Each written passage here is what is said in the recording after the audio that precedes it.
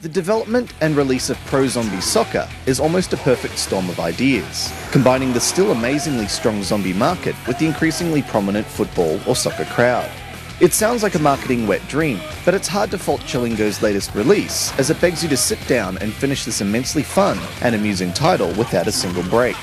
You'll need to get your reflexes and rebound skills tuned up in order to crush the almost unstoppable wave of half-rotting death and consuming you as you fling a football to cave in their skulls. The basic kick is performed by aiming with a swipe bar and letting go to kick.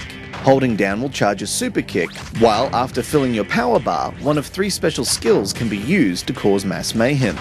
More than anything else, Pro Zombie Soccer is self-aware and features an amusing storyline that's worth grabbing the game for alone. The graphics are luscious, with a juicy comic book style, and plenty of varied zombies to beat down.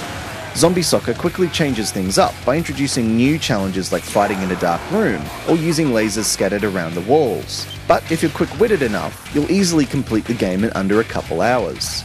This unlocks a hard mode and a survival mode, both of which will truly test your reflexes. Despite lacking some replay value, finishing Pro Zombie Soccer is a rewarding experience and easily recommended for everyone to try. This has been Andrew with AppSpy.com. We review, you decide.